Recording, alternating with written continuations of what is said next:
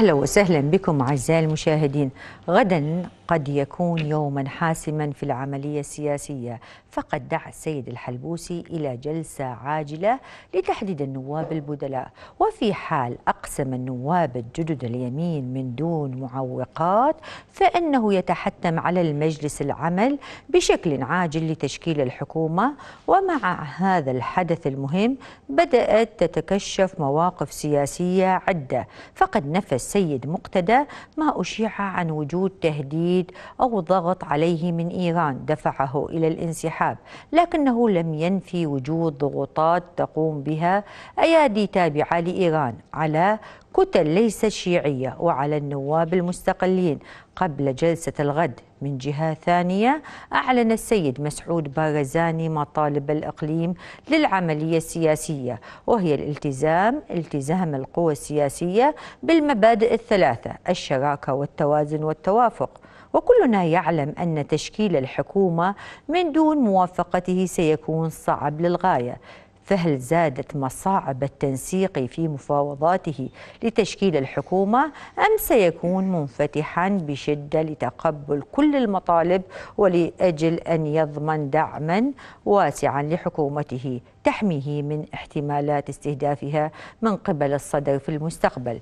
ما شكل المشهد السياسي المتوقع بعد جلسة الغد والاختلاف الذي سيحصل في مقاعد الكتل النيابية وهل سنتجاوز عقدة الثلثين أم سنشهد انقساما جديدا للقوى بسبب الشخص البديل لمنصب النائب الأول لمجلس النواب. سيدخل نواب الديمقراطي وسيادة إلى جلسة الغد أم يمتنعون ما لم توافق قوى التنسيق على مطالبهم في العملية السياسية والحكومة الجديدة؟ موضوعنا اليوم قلق العملية السياسية بين انسحاب التيار وجلسة البدلاء غدا. لكن دعونا نشاهد ما عده لنا الزميل محمد الكعبي. هل وصلنا إلى بداية النهاية في تشكيل الحكومة أم ما زال للحديث بقية في أفواه الكتلة الصدرية؟ وهل انتهت عملية الإصلاح التي نادى بها الصدر أم إنه غير خطته من الخطة أليف التي أراد بها الإصلاح من داخل العملية السياسية إلى الخطة باء التي تعتمد على التغيير من الخارج؟ أما الإطار فهو في حيرة من أمره. هل يشكل الحكومة من دون التيار وتمضي الأمور على وفق ما يرام؟ أم أن خطر اللجوء إلى الشارع هاجس يلاحقه؟ الأمور أصبحت أكثر تعقيدا وتشكيل الحكومة من دون التيار يعني إشعال عود الكبريت في براميل البارود. يا له من خطر محدق يدق ناقوسه في العملية السياسية التي تشهد أياما صعبة جدا. وكأن الجميع واقف على حافة الجبل ومن يعثر ينزل في واد مظلم لا ينجو منه أحد. المعلومات تشير إلى أن السيد مقتدى الصدر طلب من حلفائه الإبقاء على تحالفهم لحين عودته من الحج برفقة كتلته حيث سيعقد اجتماعا سريا هناك وربما يخرج بمفاجأة غير متوقعة قد تأخذنا إلى ضفة النهر وتولد الحكومة أو إلى قاع النهر لنعود ونبحث عن قارب نجاة مكون من 220 لوحة خشبية ليطفو بنا وننجو من الغرق. وينصب رئيس الجمهورية وبعدها لا قيمة للثلث المعطل لأن ما بعدها هو انتخاب رئيس الوزراء. الذي لا يتطلب سوى نصف زائد واحد. أما عن الإطار التنسيقي فلا تتخيلوا أن المواقف ثابتة كما في السابق. فبعد انسحاب الكتلة الصدرية حصلت الأحزاب المنضوية تحته على مقاعد إضافية وهنا العيال كبرت. وتنصيب رئيس الوزراء ليس سهلا فالكل يطالب به. وهذا قد يفتح بابا للخلافات بينهم إلا إذا كانت حكمة قادتهم حاضرة ويجعلون الرياح تسير بما تشتهي السفن. لكن في الحقيقة وعلى وفق مبدأ المحاصصة فهذا الأمر صعب المنال.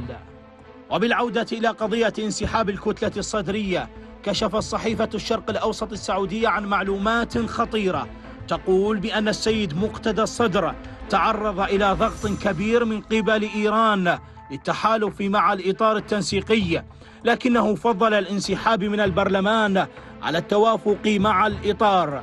الصحيفة تنقل هذه الأخبار عن مصادر لبنانية مقربة من إيران لكن ما مدى صحة هذه المعلومات لا نعلم.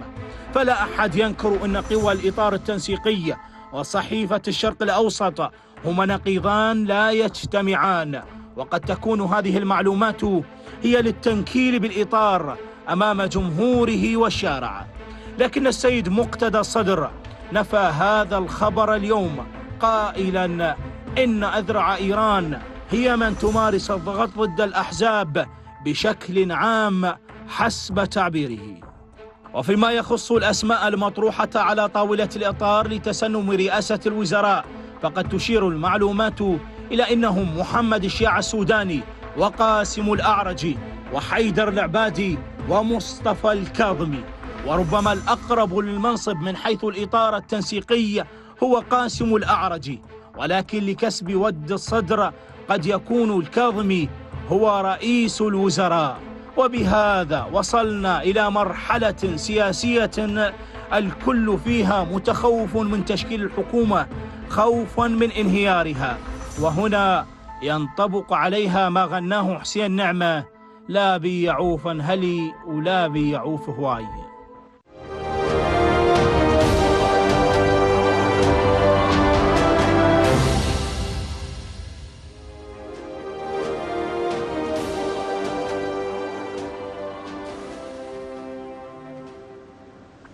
رحبوا معي بضيوفي كل من سيادة النائب محمد عنوز رئيس اللجنة القانونية النيابية وأيضا السيد هاشم الكندي رئيس مجموعة النبأ للتحليل السياسي وأيضا السيد مخلد الحازم باحث في الشأن السياسي. أهلا وسهلا بكم ضيوفي وأبدأ بسؤالي آه، خليني أبدأ من الإطار لأن اليوم الإطار شاد حلو شكل حكومة وأيضا الاجتماعات المكوكية اللي موجودة آه، في بيوت آه، السيد المالكي وأيضا السيد العبادي وأيضا السيد هادي العامري. أريد أعرف بعد ما دخل السيد مقتدى الصدر يعني في اعتكاف سياسي وغلق أبوابه يعني وخلص يعني ذاهب للحج وانتهى الموضوع انسحب يعني تماما وترك البرلمان. هل راح يستطيع الإطار التنسيقي أن يقنع حلفاء مقتدى الصدر آه، بالحكومة الجديدة؟ السيادة والديمقراطية. تحية لكم ستيفا تحية لضيوفك الأكارم وإلى مشاهديكم.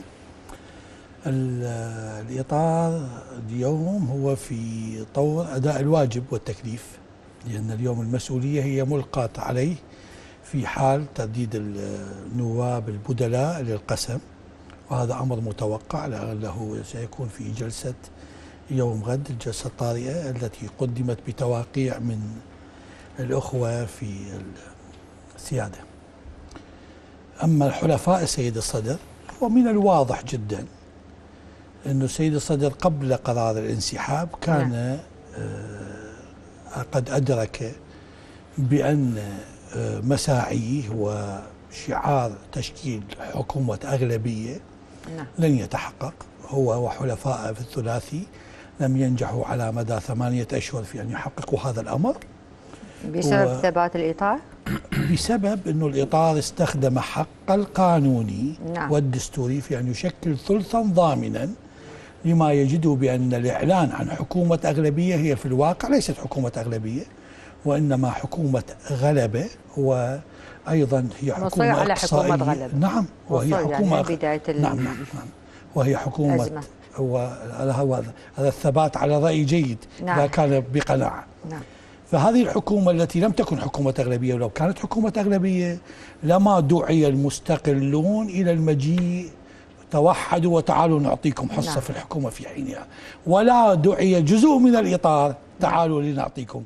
فهي كانت حكومة غلبة يراد أن تمر وعندما لم تمر بالأعداد التي مررت رئاسة البرلمان واللجان ذهبوا إلى الاستعانة بالأطراف الآخرين. فبالتالي سيد مقتدى لا يريد أن يضع نفسه بحالة عدم النجاح الكامل وإثبات هذا الأمر.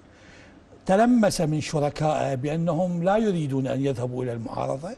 نعم. هم لديهم مصالحهم السياسية وأيضا مصالح جمهورهم ولهذا قرر أن ينسحب من البرلمان فقط. نعم. تنأكد فقط؟ ولم ينسحب من العملية السياسية. من الحكومة سحب لا الحكومة لا زالوا موجودين بها. نعم. لا أقصد في إذا راح تشكل ما. راح يدخل لا أيضا. لا أنا أتحدث الآن. نعم. الموقف ولماذا أخذ هذا الموقف؟ حتى لا يكون في خانة عدم النجاح. نعم. ولهذا قال إنه يبقى في مفردة بالمعارضة ما راح يأثر في شيء. نعم. ولهذا اختار أن يبتعد وهو حقق أشياء جيدة نعم. يجدها على مستوى إقرار قانونين آه، فيهم ما فيهم. نعم. من الإنجاز الذي نعم. يصل به وأيضا أن يأخذ هذا الموقف لن يخسر شيئا كثيرا بحساباته نعم. يقدم موقفا وأيضا هو نعم. دعا شركائه بالمناسبة أن يذهبوا إلى أمر تشكيل حكومة، اليوم شركائه بالسابق والآن هم برسائل إيجابية أنهم ماضون مع الطرف الذي سيوكل نعم بتشكيل حكومة ككتلة أكبر وهو لكن سيد هاشم يعني. خلينا نتحدث نقطة مهمة خلال 19 عام ما حدثت عندنا آه، هيك حادث يعني أو ه- هيك حدث آه، مهم جدا كتلة كبيرة 73 نائب تنسب تنسحب من البرلمان العراقي وتترك حتى البدلاء مع التيار الصدري هم انسحبوا يعني تركوا المجال للأطراف الأخرى أنه تاخذ مكانهم وتحل مكانهم. يعني إذا نتحدث بالمعادلة الرقمية أنه الإطار راح يشكل الكتلة أو يكون الكتلة الأكبر تحت قبة البرلمان لأن أنتم أخذتوا آه، مقاعد التيار الصدري فأكيد راح يكون عندكم آه، الأغلبية. راح تكون أيضا حكومة الإطار حكومة التوافقية لو الأغلبية لو أيضا حكومة الغلبة اللي نددتم بها بالسابق. الحكومة التي ستشكل لا حكومة توافقية. لا توافقية. ولا حكومة أغلبية ولا غلبة؟ حكومة غلبة. لكن شنو حكومة اتفاق. خذيها مني وسجليها يعني شنو فرق. عن التوافقية؟ أحسنتم. شنو آه،؟ سؤال رائع جدا. في التوافقية الذي كنا عليها في السنوات السابقة من 2004 2005 صعودا كانت تأتي الأطراف لتطالب بحصتها من الوزارات. نعم. وتأخذ حقها مكون سني كردي يقولون حصتنا من الوزارات. لكن من ياخذ الوزارات؟ هذا وزراء يكونون محميين. لا محاسبة بالبرلمان لا محاسبة على الفساد. يقولوا له رئيس وزراء اذهب انت. وجهه بس ما لك حق تحاسبه. ولا لكم كبرلمان إنه تحاسبوا وتسألوه. نعم. بعد ذلك بعد هاي 19 سنه صار عندنا صار عندنا الفشل والفساد نعم. فقط عند الشيعة وعند الأحزاب الشيعية فقط. هذا الأمر ما ممكن يعود. لا أنت يعني أنت هسه تحكي عن حكومة عن كل الحكومات. لا لا هسه الحكومة راح تشكل حكومة اتفاق. اتفاق هذا مع الاتفاق. إيش راح يكون؟ راح يتجاوز أخطاء المرحلة السابقة. نعم. إنه أنت شريك وياي. نعم. تجي تتفق بالإلزام والالتزام. الالتزام ببرنامج حكومي يكون بعنوان حكومة الخدمة الوطنية. وحقول لك إياها بصراحة نعم. كاملة. في المقدمة الإطار الشيعي والأطراف الأخرى هي مدركة وموقنة إنه غير حكومة الخدمة نعم. لن ينجح شيء ولن يبقى شيء نعم. العنوان الخدمة لا مبرر نشوف، لا نشوف. إلا الخدمة عفوا نعم،. باختصار هذا هذا هذا ال- ال- الالتزام نعم. الإلزام انت أنت مترشح لي وزير نعم، كل نعم. هذا الوزير يلتزم نعم بالأداء يعني أنا إذا أشوف- يفشل نعم. يقال أستاذ عيوني يعني أنت تحكي لي حكومة خدمات إحنا من بداية العملية السياسية اللي اليوم نسمع حكومة خدمات حكومة خدمات والبرنامج ما نقدر نقراه من الأوراق اللي خلوها. وبعدين على كان مشترك بيها. كل شيء والكل. فشل بيها. مو طرف. واحد. سيادة النائب. بس وهذا اللي نقوله. نعم أرجع لسيادة حتى لا تلصق بطرف رئيس واحد. اللجنة القانونية كونك رئيس لجنة قانونية الأمر اللي حدث كله قانوني كل اللي حصل في العراق. لا لا أريد أتحدث عن انسحاب التيار إيه. الصدري وأيضا اليوم الباكر راح نصوت أو يصوتون على البدلاء. هذا الشيء كله قانوني؟ اولا بالنسبة للانسحاب هذا حق دستوري واحد من حقه يقدم استقالة نعم. يقدم إعفاء نعم. يقال هذا إذا مبادئ نائب واحد لكن مو كتله حتى لا مجموعة حتى, حتى لا مجموعة, ما طبعا بيها أي هم. هم قدموا أوراق كل واحد قدم ورقته لحاله. نعم هاي قضيه يعني تقدير سياسي لأنه التمثيل في داخل المجالس النيابية نعم. هو تمثيل سياسي في نهاية المطاف. آه، لم تحدث هذا شيء آخر نعم. بس هي حدثت وواقعية وأخذت مجراها. قانونيه طبعا قانوني نعم أنا أسألك كونك أنت ولكن السؤال الآخر حول البدلاء لحد الآن أنا ما عندي معلومة أنه ستكون الجلسة حصرا للتصويت. نعم. لأنه بالعادة آه، وفق المادة 58 اولا على قضية الجلسة الطارئة يحدد الموضوع. نعم. نزل الإعلان بدون موضوع لحد هذا اليوم. ما اعرف سينزل ليلا نعم. نهارا غدا. هذه أعمال. كلش مهمة. يعني ماكو بجدول الأعمال؟ جدول الأعمال لم ينزل لحد الآن. ما ينزل إنه راح بالعادة ينزل بس بهذا الاجتماع الطارئ نعم. لم يحدد ما هو آه، الموضوع الذي سيكون الوحيد للمناقشة. نعم. هل هو موضوع ال- أداء القسم أم هو بدلاء البدلاء أم قضية مناقشة الأوضاع؟ فهذه نعم. قضيه نعم. يجب أن خلوها مفتوحة. إيه يعني يحددها الجدول الأعمال يحددها رئاسه المجلس خلال اليوم أو نعم. غدا صباحا ستحدد. وهذه العملية إحنا لحد الآن في إطار قانوني ما خرجنا عن القانون نعم. في قضية الأداء ولكن تتحدثين عن مجمل العملية السياسية فيها خروقات كثيرة ومعروفة وكثيرين نعم. يتحدثون نعم. عنها. نعم لكن نقطة مهمة جدا. يعني الآن البدلاء اللي راح يطلعون من المستقلين أو راح ياخذون مكان نواب التيار الصدري آه، راح يكون لهم ثقل. يعني وأيضا راح يكون عددكم أكبر كمستقلين تحت قبة البرلمان. آه، ربما تصلون إلى 60 نائب. يعني بس وهذا هذه بها اشكاليه مال مستقل مو مستقل يعني المهم هو رشح مستقل وراح يدخل قبة البرلمان. هذا هم يعطيكم قوة تحت قبة البرلمان. لو أيضا راح يكونون المستقلين آه، مع الأحزاب اللي راح يعني- يشكلوا الحكومة آه، في قادم الأيام. يعني تجربة الأشهر الماضية أعتقد أنطت دلائل كثيرة بأنه لا توجد مجموعة اسمها مستقلين لأن قسم هم منتظمين في أحزاب مسمات ومعروفة وقسم هم عندهم ميل إلى الإطار أو إلى التيار. نعم. وهذه قضية طبيعية قضية الاصطفاف. نعم. سيادة النائب أنت ميولاتك وين؟ لو- ميولاتي للموضوع والقرار والقانون. آه. منذ البداية يعني أنت مستقل فعلا؟ مو بس فعلا حقيقة ومستقل قحا من أقدر أقول. الحمد لله. لأنه القضية أعلنتها منذ نعم. البداية نعم. أنه المستقل المستقل نعم. يجب أن لا تكون له علاقة بتشكيل الحكومة. نعم. ليش؟ لأنه هو جاي يأسس إلى منهج آخر. نعم. وبالتالي ممكن أن يكون آه، منهجه يقوم على الرقابة الفعالة والتشريع الرصين لأنه نعم. الدورات نعم. الماضية لم تكن هنالك رقابة فعالة بسبب التوافقات نعم. لكن سيادة النائب إذا نتحدث بكل صراحة أنه عددكم الفعلي راح يكون 62 نائب إلى 60 نائب هسه تابعين للأحزاب تقدير تعطي الأرقام أنا ترى أعلنت آه. في أكثر من قناة أبحث عن مستقل واحد لأشتغل لا عنده لا بس صانع لا لا بس أستاذ يعني نحن نتحدث عنه سيادة النائب على الأسماء يعني والقوائم اللي دخلوا مستقلين هسه ما علينا بالانتماءات فكرة اللي لا لا فكرة المستقل اكو رؤية مستقلة بعيدة عن هذا الطرف أو ذاك، منهج آخر، سلوك آخر.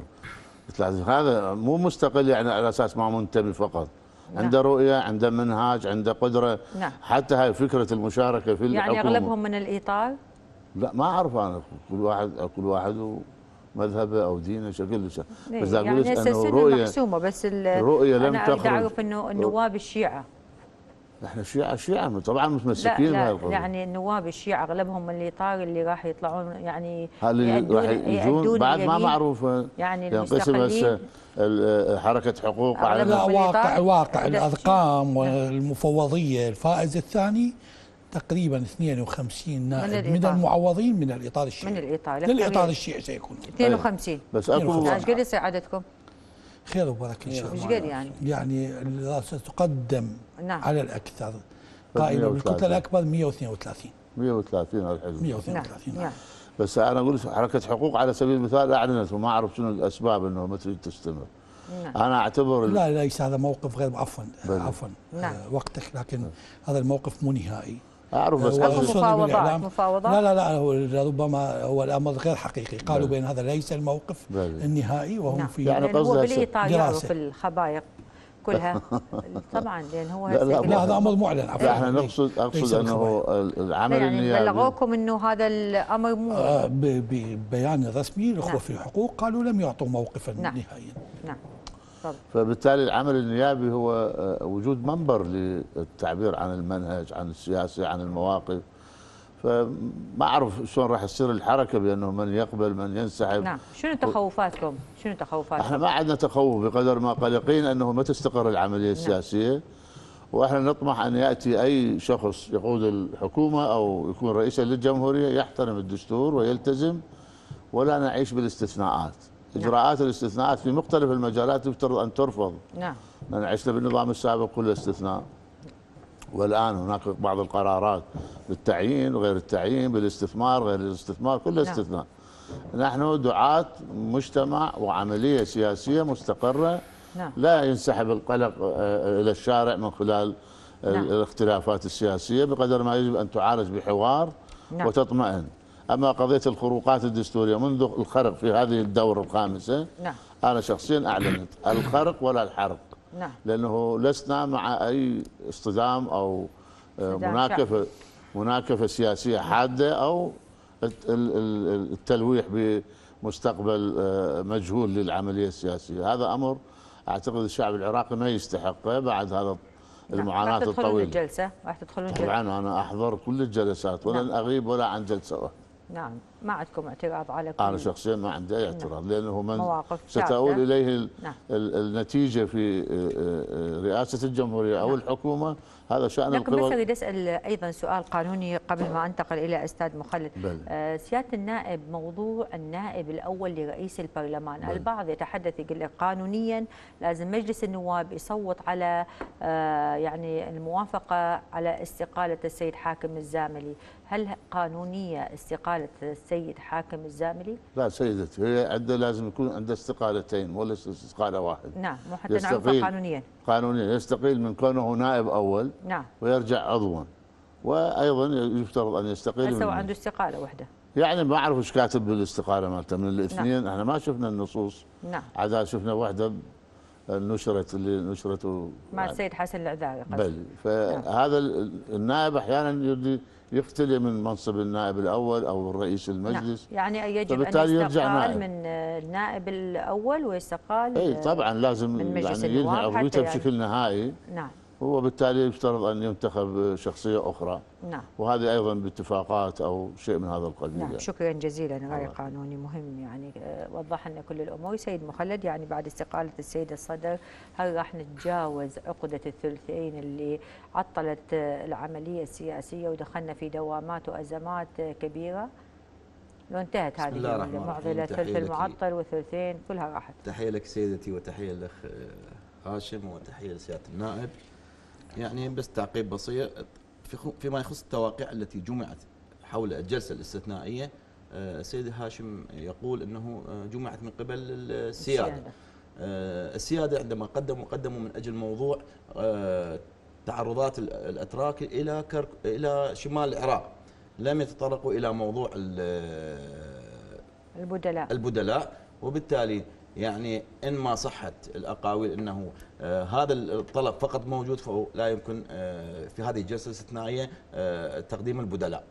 اذ نعم. ما صحت هذا الموضوع. هذا واحد. نعم. اثنين فيما يخص السيد مقتدى الصدر وما حدث كل هذه الفترة نعم. يعني نستطيع أن نقول مع الأسف يعني الإطار التنسيقي لم يستطيع أن يتعلم من أخطاء الحكومات السابقة جميعها. آه، لم يستطع أن يتقدم خطوة إلى الأمام آه، وهو من قاد الحكومات السابقة لمدة آه، يعني أقل ما يمكن 15 سنة خلينا من. هذا؟ ال- الإطار التنسيقي يعني بحكومات السيد الكاظمي ال- المالكي مارتين وسوي العبادي يعني هذا مجمل الحكومات الإطار التنسيقي بقى على نفس الخطاب بقى على نفس المعطيات نعم. لذلك لحد هذه اللحظة ن- لم نسمع آه، ولم يسمع الجمهور خطابا حقيقيا للشعب آه، لكي يطمئنه نعم. آه، السيد مقتدى صدر نعم شارك في جميع الحكومات ودائما ما كان ي- يخرج من حكومة ويدخل إلى حكومة لكنه دائما ما كان يتجدد دائما ما كان يعني يقيل ناس ويجلب ناس نعم. فبالتالي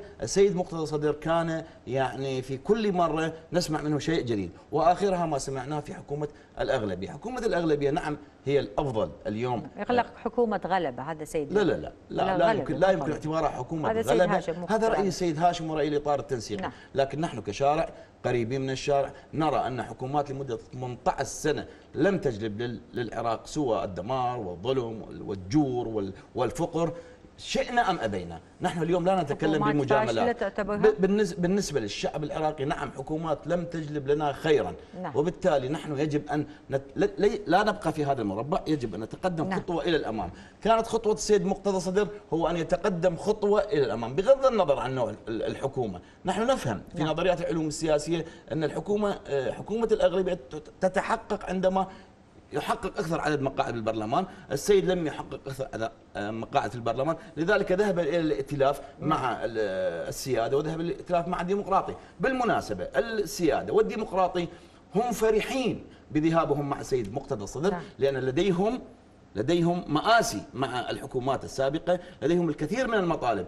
كتبت على آه، ورق ولكنها لم تنفذ. وبالتالي هم وجدوا في السيد مقتدى صدر مكان وملاذ آمن آه، يعني لهم تقصد و- إنه وجدوا المصداقية؟ وجدوا المصداقية. نعم لحتى في. السيد مقتدى الصدر لأنه ممكن أن يحقق لهم هذا المطالب بأن السيد مقتدى الصدر إذا ما قال فعل. فبالتالي يعني آه، الزعيم مسعود البرزاني يعني رجل باع كبير في السياسة وكذلك آه، الأخوة في السيادة. أكيد هم ذهبوا بهذا الاتجاه مع هذا التحالف، ليس ذهبوا من أجل شق البيت الشيعي أو غيره أو غيره، لكن لكل من هذه الكتل مطالب وملفات عالقة لم تستطيع ال- ال- الإطار التنسيقي تحقيقها، وبالتالي ذهبوا بهذا الاتجاه. السيد مقتدى صدر نعم انسحب من البرلمان لكنه لم ينسحب من التحالف الثلاثي. التحالف نعم، كل الذي حصل.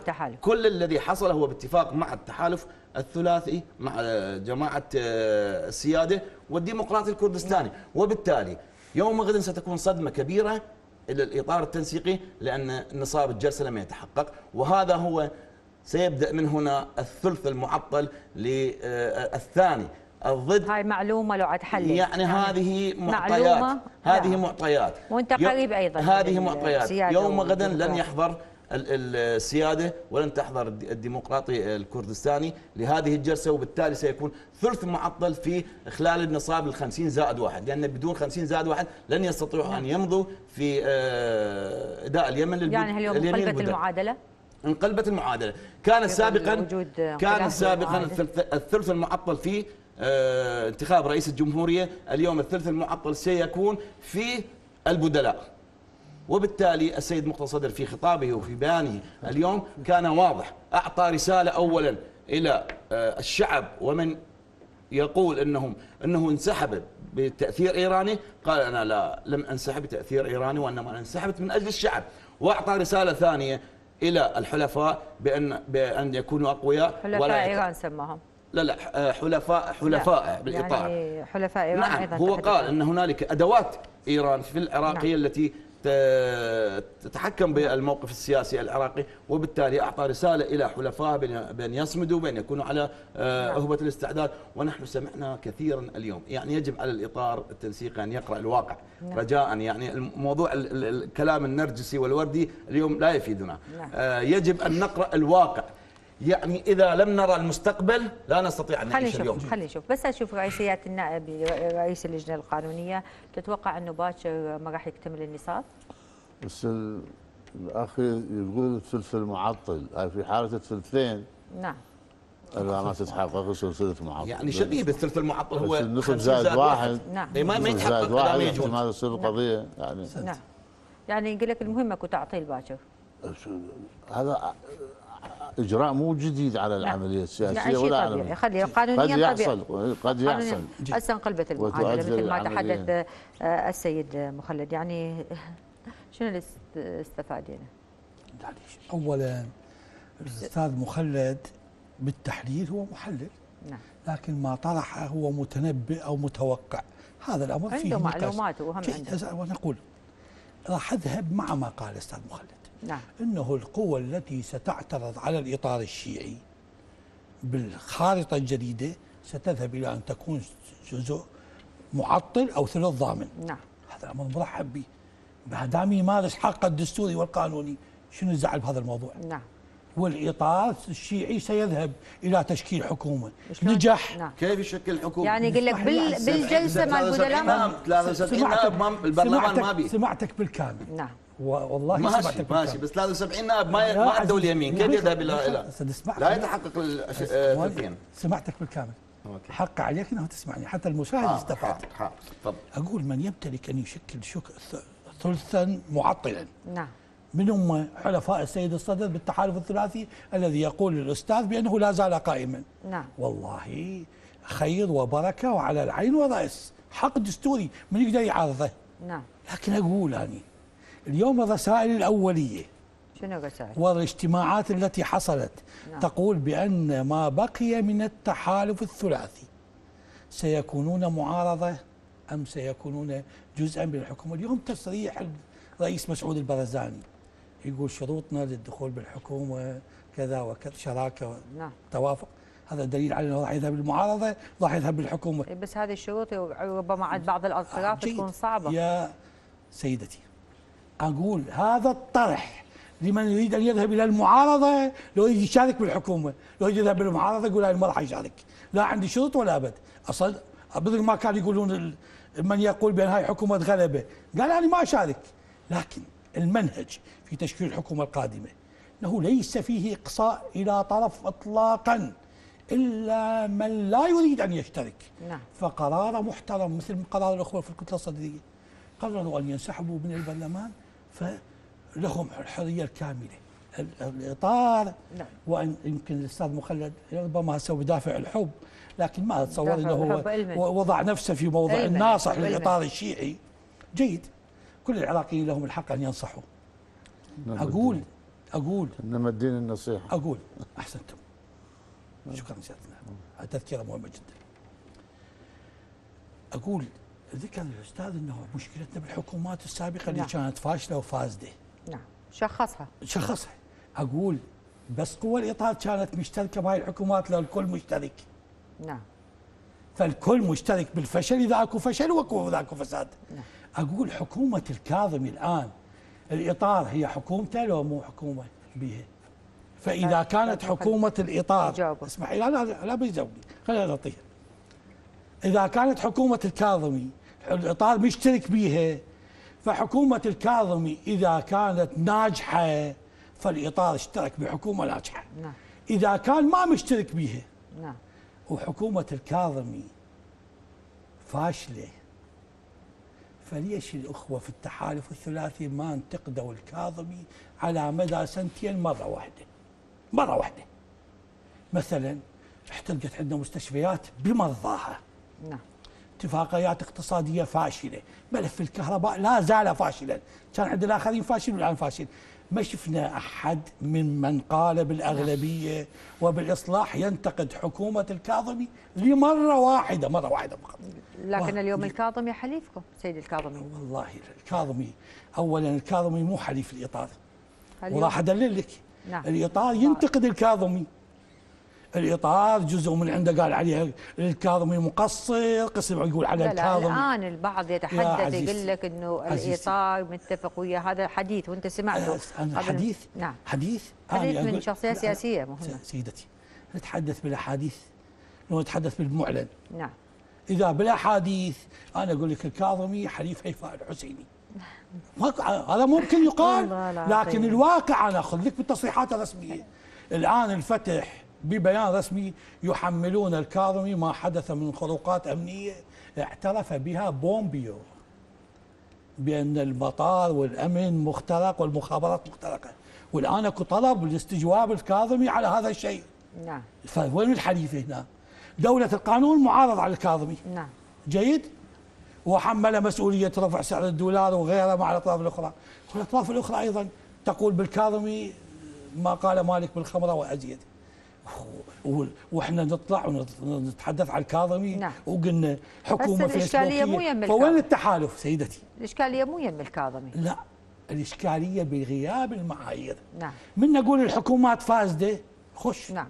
لازم كل لا- لا- الحكومات. لا تقصد لا لازم لا كل لا الحكومات؟ لا لا مو كل الحكومات. لكن شنو كل من اشترك بالحكومات. مو إحنا هاي المشكلة اللي أعود واكد عليها. نعم.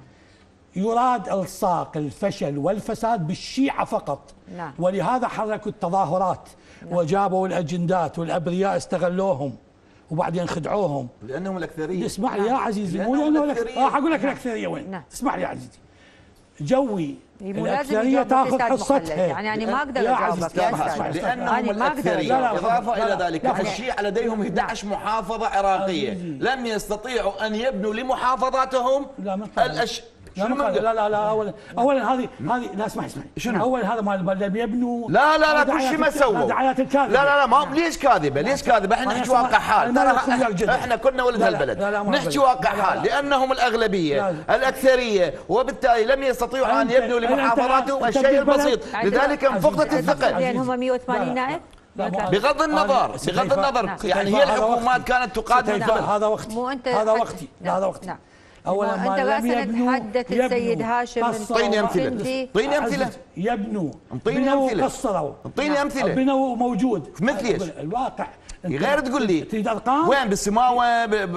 بكل مكان وين وين بنا لكن تعرف شنو اللي يواجهوه؟ بالناصرية وين؟ تعرف شنو اللي يواجهوه؟ يواجهوه فشلهم توضح وبرز بينما فشل غيرهم وسرقاته كمم ليش ما طلعوا بالأنبار من قالوا على الحلبوسي ليش متفرج فشل هم فشل ليش ما تحسون هم ف... ليش ما نحكي لا ليش ما لا التظاهرات لا لا نحكي. الفشل موجود. على. الكل نعم، خلي صح أقول. راح أقول اليوم الفشل يتحمله من كان مشارك نعم. من كل المكونات لا أحد يوضع نفسه الكل راح والحكومة. القادمة لن يدخل بها شخص نعم. لن يتحمل المسؤولية ماكو بعد غطي لي واغطي لك ماكو بعد نعم. اسكت عني واسكت عنك لا ماكو واحد فوق المحاسبة الكل يدخل في هذه نعم. الحكومة ويحترم القانون يعني أنت- والقضاء. نعم. ولا ينتقي. إحنا اليوم عندنا مشكلة كبيرة. إحنا القضاء السلطة الأعلى. نعم. إحنا القضاء سيد- من يعيد لنا نتائج نعم، الانتخابات. خل- خلينا نسأل. نقول له شكرا. انت قضاء نزيه. نعم. وانت قضاء عادل ومهني. عندنا القضاء من يختلف ويانا. نقول يتعرض لضغوطات اذرع نعم. ايران لكن- لو نقول الق- القضاة نعم. بعثية. نعم. لو نقول قالوا سنة وصاروا شيعة. كل معيار واحد بس أريد أسأل السيد وهذا سيد أما. مسألة التشكيل نعم, نعم.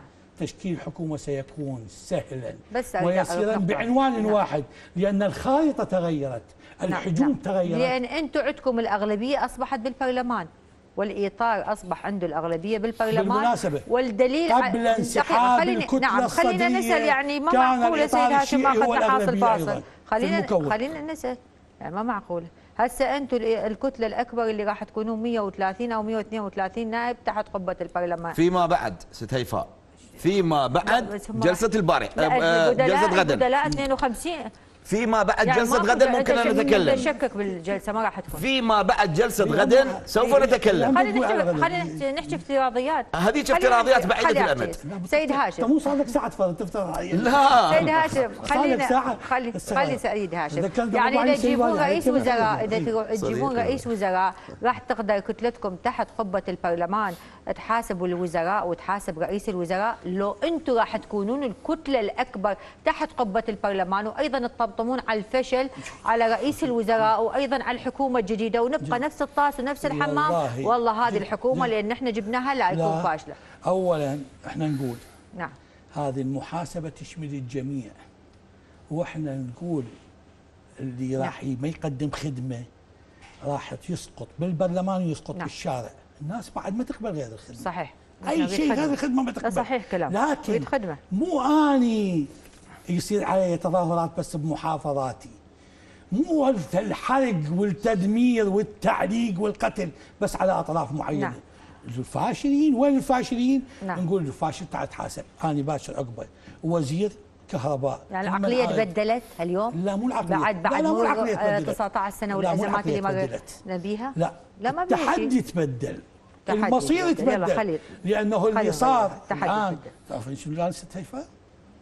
الان اكو أطراف تبتز بالشارع. وبالتظاهرات قبل أن تشكل الحكومة. نعم. هذا الأمر. التظاهرات حق وواجب لكن من تكون أداة للابتزاز. نعم. ويعطلون النواب عن التواجد في مكاتبهم وفي بيوتهم.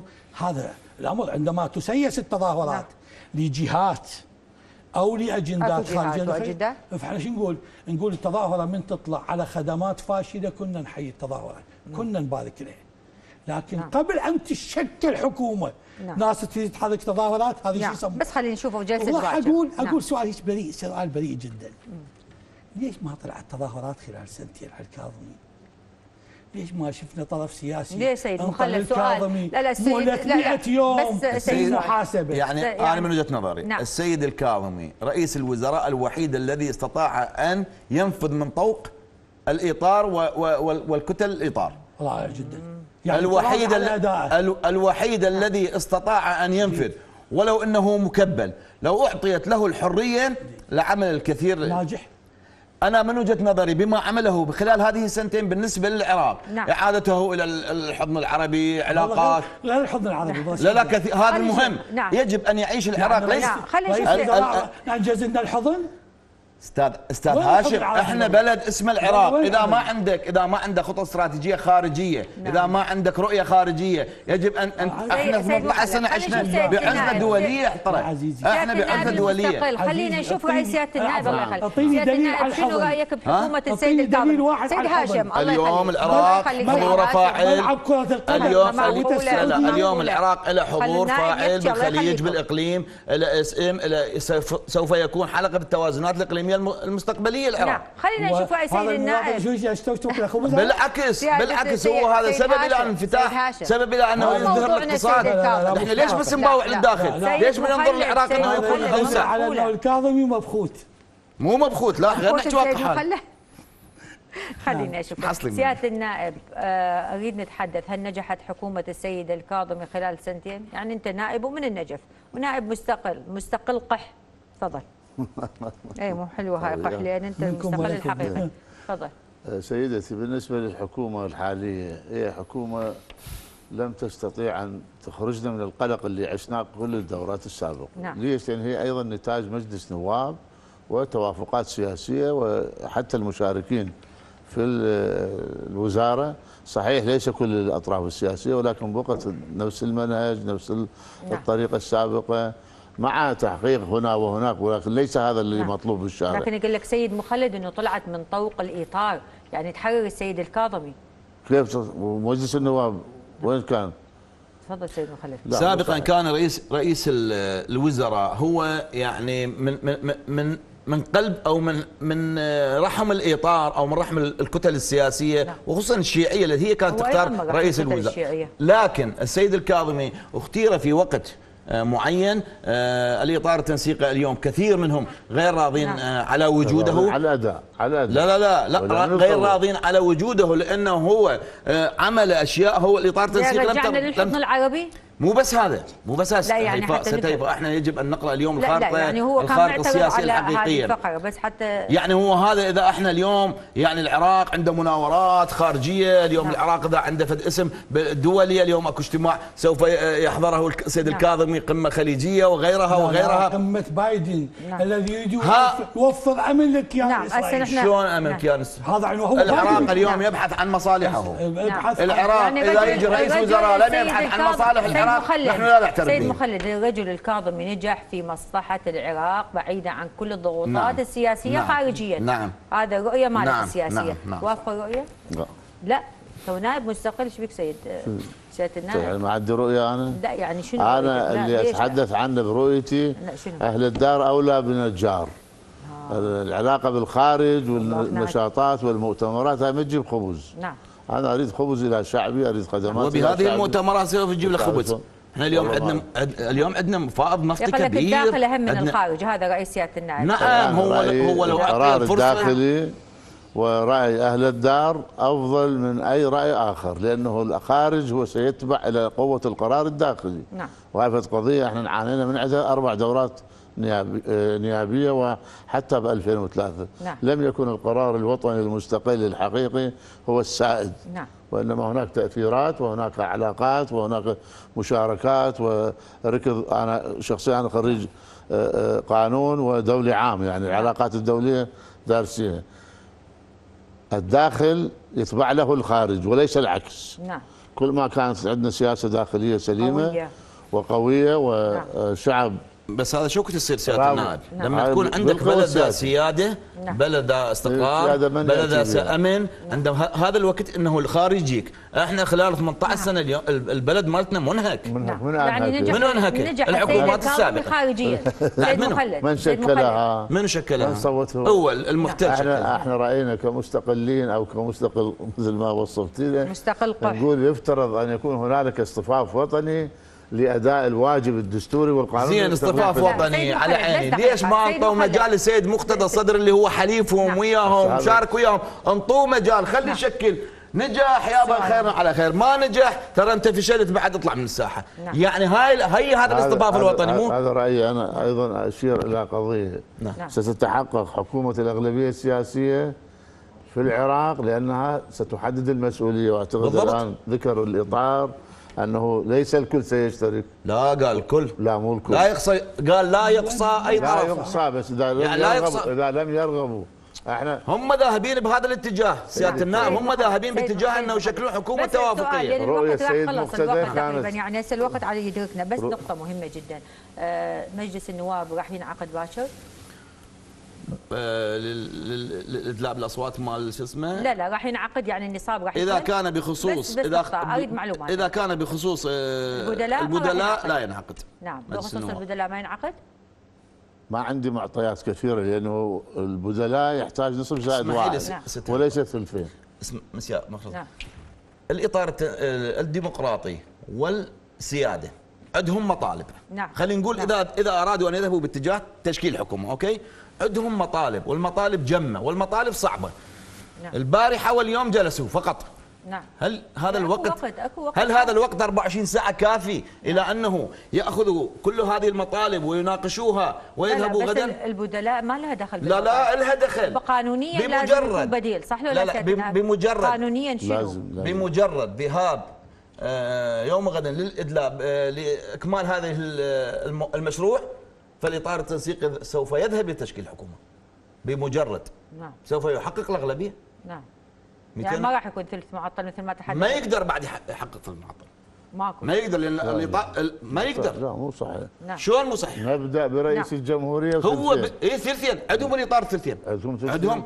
إذا ب... اذا إذا ثلاثة- إذا بارك 73 واحد نائب جو البدلاء فراح يكون عندهم 220 ويذهبون باتجاه تشكيل حكومه عندكم راح يصير ثل- ثلثين؟ مو هسه هو الأستاذ مخلد لا لا، بس عندكم قبل الثلثين. شوية قال الطرفين راح يشكلون ثلث معطل نعم، نعم. وأنا قلت له هذا حقهم الدستوري مرحب به أقول نعم. خارطة جديدة في حال أداء النواب بس بيش متفقين. البارحة البارحة اتفقتوا واجتمعتوا اتفقتوا على آه، الجلسة إنه راح يكونون. البدلاء كان اجتماع مع الديمقراطي نعم واكو تفاهمات مع الأخوة السنة نعم، اجتمعتوا مع- راح يدخلون نعم. الجلسة؟ راح أقول لك المبدأ. يلا لا أحكي لي شنو. صار. لا لا المبدأ المبدأ. مباشر راح تبين المبدأ تأتي معي تأخذ استحقاقك الانتخابي ولكن تلتزم وتكون مسؤول. بالنجاح يحسب لك والفشل يحسب عليك. هذا اولا. نعم. ثانيا احترام القانون والدستور. ماكو انتقائية. ماكو هذا يعجبني القانون لا لا بس هيجي ما راح تتفقون. لا لا راح يتفق لا لا، بس راح أحكي لك. راح أقول لك فشل. الآن هذا الأمر راح يعرض. نعم. لمن يأتي إلى هذه القواعد القانونية والدستورية فاهلا ومرحبا. وإذا ما؟ لمن لا يأتي نعم، راح أقول لك فشل. نعم إذا ما اجوا الخارطة فضفاضة فيها مجال كثير. شنو المجال؟ اعطيني واحد من لا المجالات راح أقول لك المجالات. اللي جاي قادم ب 132 نائب. وعنده تحالفات سابقة نعم. بأعداد محترمة. قبل لا يكون هذا الإضافة ل 52 حقق الإطار الشيعي مع حلفاء 152 من اوقفوا جلسات. 152 جلسة- نعم من أوقفوا جلسات لانتخاب رئيس الجمهورية. في الجلسة الأولى البرلمان كم كانت؟ قالوا هم 202. الأخوة بتاع- ثاني جلسه إيش صارت؟ 100 و... 170 نعم. لا أكثر. 190. أنا أكثر. أكثر. أكثر, أكثر النواب نعم. المستقلين. طلعوا طلعوا ما حضروا الجلسة لأسباب خاصة وليس عظيمة. أستاذ مخلد أقول تشكيل الحكومة الآن بعد أداء النواب البدلاء سيكون مسؤولية وتكليف وشرف نعم. للإطار الشيعي. إن نجح به ضمن المعايير الوطنية. وضمن الثوابت التي نعم. كان يقول بها نعم. فهو أمر جيد جدا. إن لم ينجح نعم، فهو بس نقطة كما كان الآخرون هذا اشهر ولم كلام- ينجحوا. هذا كلام محلل. أريد أختم بمعلومه الاطار الاطار خليني أ- المعلومة المعلومة، الإطار أخذيها- متفق يعني على ال- بمعلومة لم ونسبق. كل شيء ونسبق كل شيء. بقول إن شاء الله. لا اسم طيب إن اسمعيني- شاء الله كل. شيء يصير خير. لا مو إحنا إحنا مأمورين. نعم. مأمورين بأن نسبق كل شيء إن شاء الله. أنا أقول الحكومة ذاهبة للتشكيل. لا هسه البدلاء عوف الحكومة هسه بعد ما وصل البدلاء متحققين وماضين. راح تصير جلسة؟ راح تصير جلسة إن شاء الله والجلسة تناقش أمرين نعم. إن شاء الله. باكر؟ الاعتداءات التركية على الإقليم وعلى أخوتنا الكرد. نعم. وأيضا سيؤدي النواب البدلاء ولن يستغرق القسم وسنشاهد. هذا الأمر لن يستغرق إلا دقائق والحكومة ستشكل سريعا إن شاء الله نعم. وحكومة ستعالج أخطاء المرحلة نعم. السابقة نعم. وستكون هذه الأسماء اللي انعرضت، الأسماء اللي. انعرضت. كل الأسماء كذب حيدر العبادي كل حيدر العبادي علي شاه السوداني أسبقك سيدي. حتى تستفادين من الوقت كلها. كل الأسماء المطروقة بس غير صحيحة أنا عندي معلومة. الأسماء التي تطرح معلومة عندي من. المستقلين لا من الكتلة المستقلة المواصفات هي التي تحكم لا لا من الكتلة المستقلة متفقين على الاسم لا ماكو الذي يصح له الإطار الشيعي. نعم. أن يكون اختيار رئيس الوزراء ضمن الكتلة الشيعية الأكبر.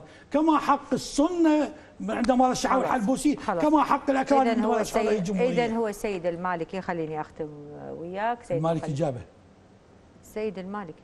اختيار الإطار. منو قابل المالكي؟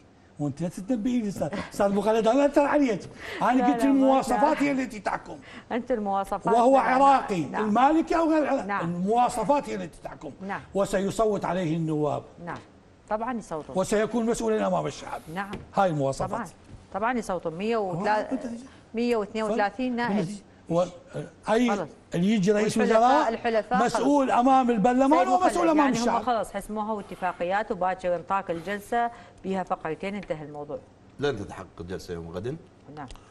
وأنا رسالتي إلى السيد مسعود البرزاني ان أن لا ي- أن لا يمشي باتجاه آه، ال- الوعود وكتابات نعم. لكنه تحدث والاتفاقيات عن ثلاث وإلى. السيد الحلبوسي عندما سوف يشكل الاطار التنسيقي الحكومة سوف تذهب وتقال تفضل لا أنا. عندي عندي رأي لازم أثبته نعم. بأنه نحن أنا شخصيا مع حكومة الأغلبية السياسية نعم. كانت سابقا للتيار والآن للإطار والمعطيات تشير إلى أن ستكون حكومة أغلبية لأنه ليس الكل سيشترك نعم لغرض واحد هو تحديد المسؤولية لأن إحنا أربع دورات كانت المسؤولية وأنا آه، أقسم رئيس الوزراء اللي يجي ويطرح برنامجه السياسي أتمنى يعني اسمحوا لي أنه يكتب لنا ورقة واحدة.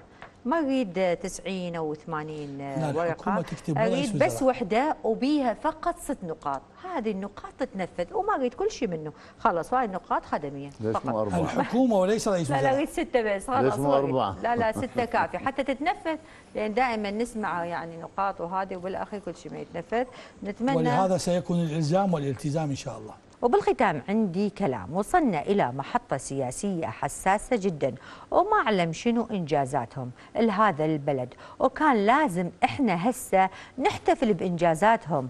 لكن فوضى أمنية خلال 19 عام نتاجها سياساتكم الخاطئة وأتحدث عن بعض السياسيين. انقطاع للطاقة خلال 19 عام أيضا نتاجها خططكم الفاشلة. نقص خدمات خلال 19 عام ضاعت بيها الفلوس والناس كل شيء ما شافت.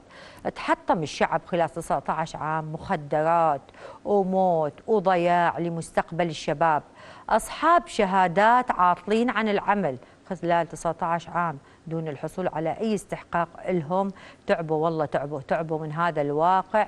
اللي نعيشه نحن هذا اليوم. واقع صحي تعبان خلال 19 عام. 19 عام من واقع تعليمي سيء وأساليب تعليم بدائية في حين أن العالم وصل لزمن التكنولوجيا. مشاكل طائفية سادت بين الناس بدون ذنب وسببها السياسة. كل هاي نتاج سياسات 19 عام في حين كانت الناس تتأمل تتحول الأحوال وتتبدل. يعني كنا نتمنى نتحدث عن بعض السياسيين اللي ضيعوا البلد لكن مع الأسف الناس تحس بخذلان عميق لكل طموحاتهم.